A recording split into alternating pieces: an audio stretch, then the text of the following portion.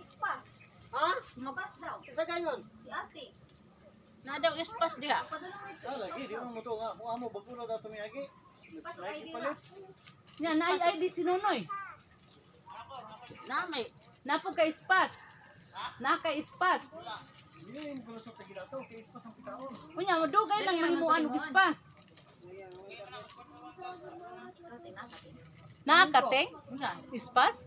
Dili maghimo man sila ilahan, di man ka maghulam-hulam.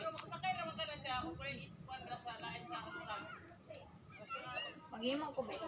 Maghimo sa si Dili, Alte. kay nay bata. Maghimo. mo si Alteng. Magkahulat ko ba daw ka kay maghimo himo pa sila Spas. Dali raman automatic daw. na.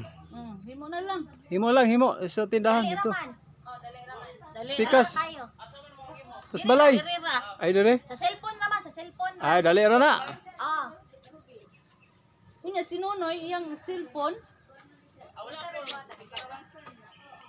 Walay problema kay driver man na. Driver man na. Driver na, walay problema sa driver. Ana din na. Oh. Unya ang ispas. Apilan ang dahil ispas.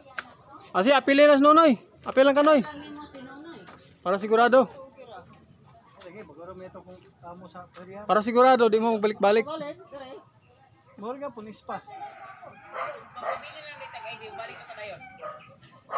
Namang kay ID ni.